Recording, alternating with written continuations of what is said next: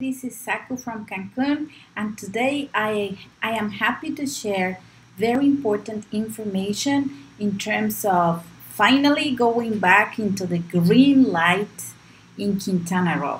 And before we give you very important data that it was just released last night, um, let me explain for those that they are not familiar of what the green light or the light uh, control system for the uh, pandemic spread has been implemented in Mexico since uh, March of last year.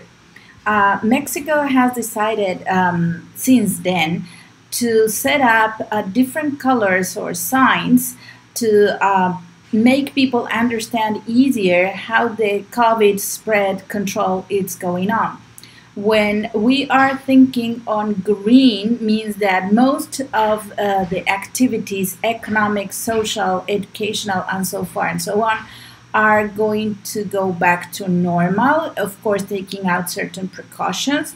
Um, and uh, there are other colors that they're not so good uh, like for example going backwards to yellow certain things are restricted. If you go to orange more things are restricted and red is when you are, um, you know, um, more likely in lockdown.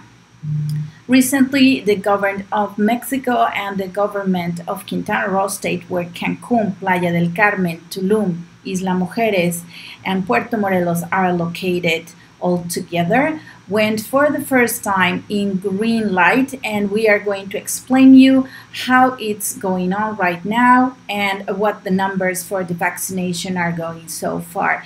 In later uh, videos, we are going to explain more deeply what um, this means and how the activities are going to impact and what measures are we going to take to make these a responsible and little by little coming back into normality for everyone. But as for now, in this video and the purposes for time, uh, we are not going to make it that long. Uh, I'm going to explain briefly what uh, it was released in the news last night.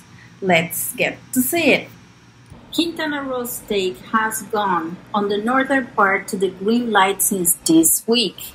This means that Tulum, Solidaridad, where Playa del Carmen is located, Cozumel, Puerto Morelos, Benito Juarez, where Cancun is located, Lázaro Cárdenas, where Holbox is located, and Isla Mujeres are starting to going back to normality, as opposed to the southern area of the state that we are yet in yellow and doing our efforts to go green.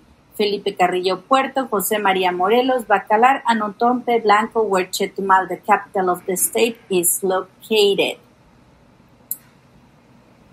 In the particular case of Cancun, Benito Juarez municipality, this week were a substantial uh, decreasing of 30%, 35% of the cases of COVID.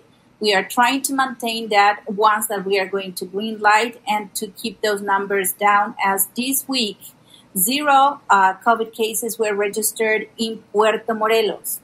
As for the vaccination, uh, so far from the beginning in this state have already uh, been applied up to date more than 2 million vaccines.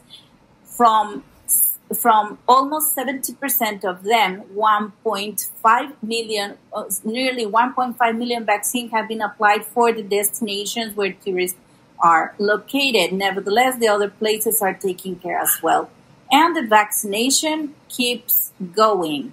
It's not stopping we are, of course, taking care of safety distance, applying gel at all times, uh, having constant sanitization, taking care of assisted buffers, and many other rules. Uh, this is in order to help to protect visitors and local. Information clear enough I hope it's helping everybody to understand what the numbers are as for now. And we are happy to be for the first time in green, but yet we know that the entire state needs to go green and to maintain it for a long time that way. So we will keep you posted. If you like this video, please give us a thumbs up. And if you want to keep receiving more information, please consider subscribing to the channel. That it will be a great deal for us. Thank you and stay tuned till the next one. Bye bye.